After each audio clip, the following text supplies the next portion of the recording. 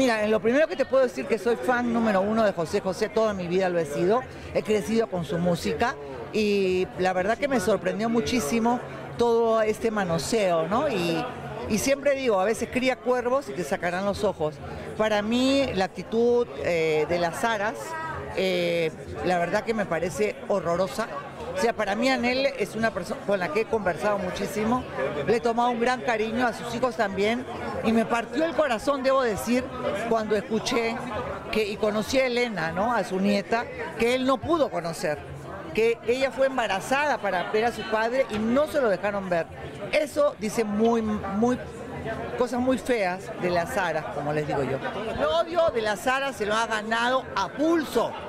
Y yo como mexicana también debo decir que mi repudio y rechazo total hacia ese par de buitres, porque para mí son unos buitres, que no han permitido traer aquí el cadáver de José José para darle el homenaje que se merecía, que le han ocultado a sus hijos, a sus hijos, ¿no? que también son sus hijos, al el, cuerpo durante una semana que Marisol no pudo presentarle a su nieta Elena, que además es igualita a él.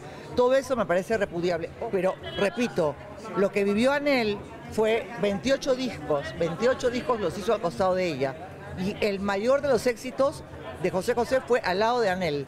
Después, eh, Sarita dice que ella lo, lo mejoró, no sé, yo no me meto en ese tipo de temas porque los temas privados de una pareja son privados.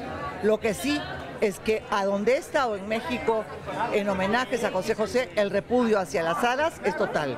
Y repito, se lo ganaron a pulso. Anel fue pareja 21 años de él, es la madre de sus dos hijos. José Joel y Marisol. Tenía todo el derecho de estar ahí. Porque para nosotros, Anel, de alguna manera, es la viuda de José José. Y hablo como mexicano. Que, Sarita, ¿qué pasa? ¿Qué pasa? ¿Cuál es tu rechazo hacia el pueblo que le dio la vida a tu padre? ¿Por qué nos tratas de esa manera? ¿Por qué nos humillas así? Si tú también eres mexicana, un poco como nosotros, yo creo que muy feo lo que has hecho.